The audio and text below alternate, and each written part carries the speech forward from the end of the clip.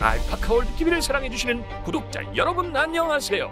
기니피그 미로 탈출 게임 3의 시간입니다. 요즘 월드컵이 한창이죠? 월드컵만큼이나 열기 뜨거운 기니피그 미로 탈출 게임을 즐겨주시기 바랍니다. 잠시 후 3회 미로 경주가 시작됩니다. 총소리 울리고 선수들 출발합니다. 선수들 스타트 하나는 정말 기가 막힙니다. 그동안 부각되지 않았던 8번 피그미전 선수 1등으로 치고 나갑니다. 상위권 강자 스카렛 피그도 열심히 쫓고 있군요.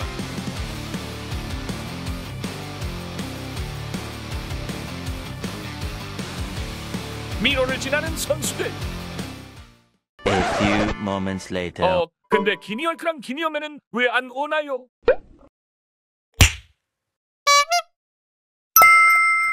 잠시 수다를 떠들어 늦어진 선수들. 점심 메뉴 정하기는 기니피그에게도 어려운 문제네요. 선수들 모두 골인 완료했습니다. 오늘도 열심히 달려준 선수들 수고 많았습니다. 3회부터 게임 룰이 변경되었습니다. 필독해주세요. 저희가 지정한 등수를 연속으로 맞춰주세요. 이번에 여러분이 맞춰주셔야 할 등수는 7, 8, 9등입니다. 7등 기니피그만 맞힌 분께는 알파카월드 50% 할인권 1매를 드려요. 7등, 8등 기니피그를 맞힌 분께는 알파카월드 50% 할인권 1매와 알파카 볶음밥, 알파카 인형을 드리고요. 7등, 8등, 9등의 기니피그를 모두 맞힌 분께는